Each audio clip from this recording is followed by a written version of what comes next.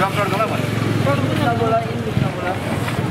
Video गर्दै रहेछ नभए अहिले ब्यागबाट हुन्छ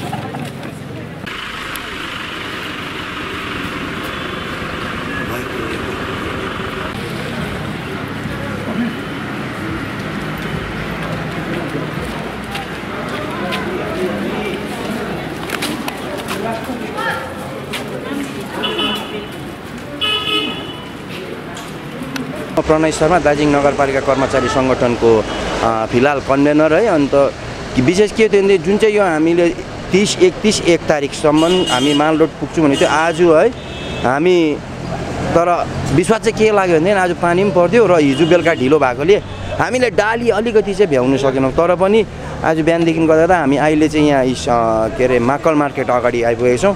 र आज बेलुकासम्म हामी चार पाँच बजीसम्म माल रोड पुगेर जति सक्दो हामी सफा राख्ने कोसिस गर्छौँ।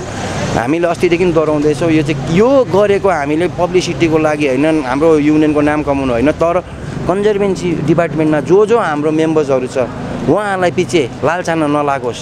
होइन तैँले गर्दा मैले गर्दा भन्ने चाहिँ नहोस् भनेर उहाँहरूलाई हामीले सहयोग पुऱ्याएको। त्यसै कारण हामीले यो तिन दिन चाहिँ हामीले एकदमै राम्रो अब जहाँ जहाँ सक्छौँ हामीले राम्रो काम गर्ने र राम्रो नै गरिन्छ जस्तो लाग्छ मलाई त्यहाँ गरेको छौँ जस्ट। हामीले जोरबङ्गलोको फरेस्ट चेकपोस्टदेखि यता गर्दै गर्दै आएर आज विशेष त सबसे ठुलो बेसी मैला चाहिँ यो तपाईँको के अरे यो मोहनलाल पेट्रोल पम्पको ट्राफिकको माथिल्लोपट्टि जहाँ चाहिँ होर्डिङ्सहरू छ ठुल- ठुल्ठुलो फ्लेक्स छ।